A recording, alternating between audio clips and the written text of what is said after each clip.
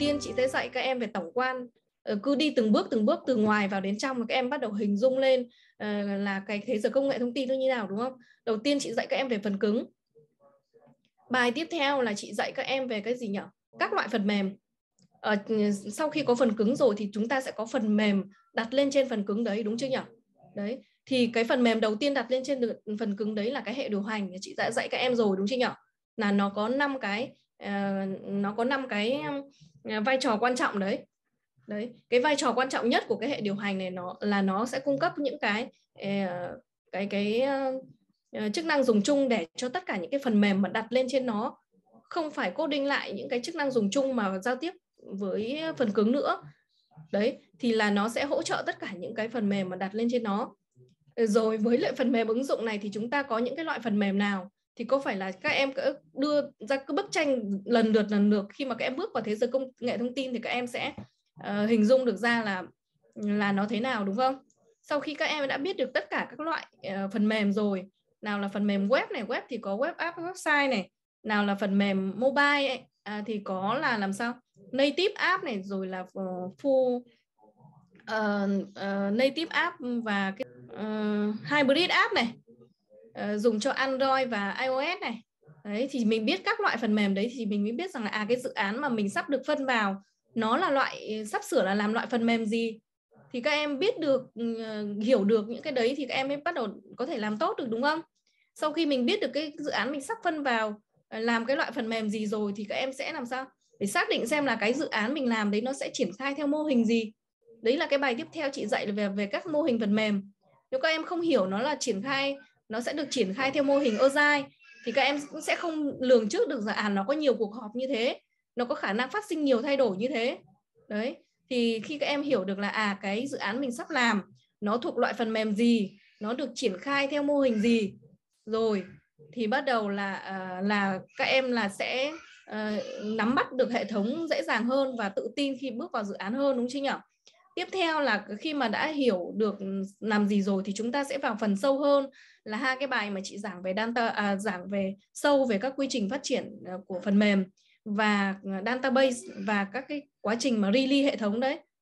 Thì làm đưa cho các em bức tranh cơ bản nhất công nghệ thông tin cơ bản gọi là cực kỳ sơ khởi để các em bắt đầu bước chân vào và sau cái cực kỳ sơ khởi này sẽ còn rất là nhiều những cái thông tin cơ bản nữa để giúp cho các em hiểu được cái uh, hai cái công đoạn ban đầu này cộng với cái, cái công đoạn release này nữa.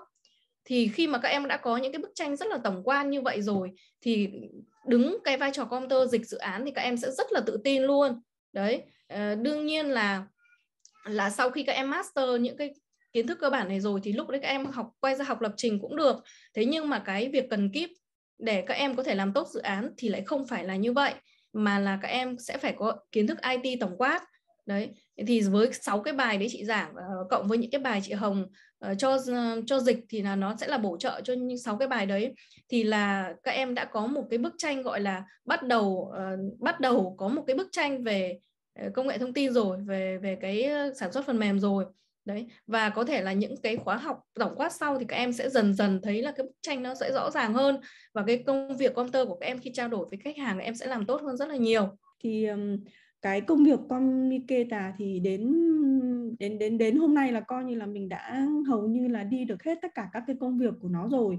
Thì à, về cơ bản thì liên quan đến cái phần định nghĩa cũng như là những cái nội dung thì cũng đã được học thông qua cái khóa học rồi. Cái slide này thì trước chị làm thì để cho cái buổi đầu tiên nhưng mà bây giờ chị lại chuyển sang là cái buổi cuối cùng nên là nó cũng có cái phần nào đấy để giúp cho các bạn ôn lại thôi. Thì là mình sẽ là cái người cầu nối đúng không? Để mà có thể uh, kết nối giữa uh, hai bên Nhật và Việt. Thì quay trở lại ôn lại một chút là những cái đối tượng mà mình làm việc thì nó sẽ có ở đây. Nó sẽ có là khách hàng này à, bên Brit này, bên PM là người quản lý dự án, rồi các cái người kỹ sư, coder, rồi các cái QA và tester. Thì bây giờ mình nhìn vào những cái người đối tượng này thì chắc là đã đã quá là thân thuộc rồi đúng không? Thì liên quan đến khách hàng thì mình sẽ có à, hai cái tài liệu mà như chị Hoàn vừa nói đấy, đúng không? Là cái à, cái cái yêu gì định nghĩa yêu cầu đúng không? Yokyutegi này, đúng không? Rồi các cái uh, sệt kê đúng không? Là các cái thiết kế cơ bản đấy và mình sẽ cùng với lại Brit cùng với PM rồi cùng với kỹ sư để mà làm à, cốt lên cái dự án đấy và test để mà đưa UKUD với khách hàng là đưa cho khách hàng đúng không? Như vậy là công sẽ phải đi giao dịch với tất cả những cái người này trong dự án rồi. À, thì ờ, trong cái khóa học của mình ấy thì nó sẽ có cái phần của chị Hoàn thì đã overview rồi nhá còn cái phần của chị thì chị overview lại thôi là nó có những cái phần nào thứ nhất là các bạn đã cùng với chị được dịch các cái siêu sộ rồi nó chính là cái kia hông sệt kê đấy là các cái tài liệu về thiết kế màn hình các cái spec à, yêu cầu rồi các cái danh sách chức năng uh, của màn hình đúng không thì cái spec này thì là các bạn à, sẽ về ôn lại này uh, các cái từ vựng cũng như là cái cách để mình đọc spec ở trong đấy được chưa? Uh, khi mà nhận được cái spec này thì là mình sẽ uh, dịch các cái thông tin liên quan đến spec này rồi liên quan đến quá trình trao đổi để đưa ra các cái estimate, các cái effort, các cái metamori để mà báo cho khách hàng rồi trong cái quá trình làm thì là mình sẽ trao đổi yaditori về mặt về mặt uh, spec yêu cầu chung của dự án đúng không? Thì trong cái quá trình làm đấy thì là mình sẽ phải follow theo cái xin cho cự đúng không? Cái anken nó xin cho cự. Hôm trước có bạn vẫn chưa biết cái từ anken nó bằng với project tội đúng không? Thì hôm nay chắc là nhớ như in đóng cột rồi. Thì cái từ anken ở đây nó chính là cái dự án của mình. À, khi mà mình follow được cái xin cho cự cái tiến độ của dự án này sau đó là hô lên show rồi liên lạc trao đổi với hai bên. Thì trong cái quá trình mà mình học mình đã học về cái gì? Cái liên lạc trao đổi là các cái một số cây thường gặp đúng không? À, trong đó sử dụng các cái từ vựng mà chị nghĩ là nó cũng rất là hay dùng trong dự án này. À, tiếp đến là mình dịch họp dịch mail rồi dịch chat đúng không? Thì những cái đấy mình cũng đã được học rồi.